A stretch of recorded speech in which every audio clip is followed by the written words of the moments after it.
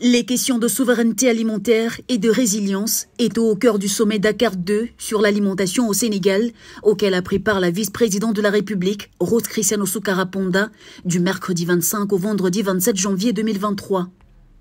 L'occasion pour elle de mettre en avant les avancées du Gabon en matière d'amélioration des conditions d'alimentation au plan national. À l'initiative de la Banque africaine de développement, plusieurs chefs d'État et représentants d'organisations multilatérales ont pris part à cette rencontre dont l'objectif était de mener des travaux sur l'amélioration de la souveraineté alimentaire des pays du continent. Prenant la parole, la vice-présidente de la République gabonaise a souligné la stratégie mise en place par le chef de l'État. Pour ce qui est du secteur agricole, il ne représente que 5% du PIB. Nous importons près de 450 millions de francs CFA de produits alimentaires. Le chef de l'État a mis en place une politique agricole et la population qui est employée dans ce secteur n'est égale qu'à 20%. Des réformes qui tendent à développer le secteur agricole ont été engagées, a-t-elle précisé.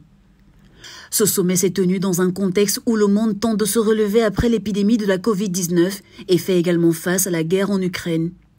Vu ces circonstances, dans le temps actuel, la souveraineté alimentaire et nutritionnelle devrait être l'âme de notre nouvelle libération de la dépendance alimentaire des fluctuations de marché et cours céréaliers, a souligné Moussa Faki Mohamed, président de la Commission de l'Union africaine.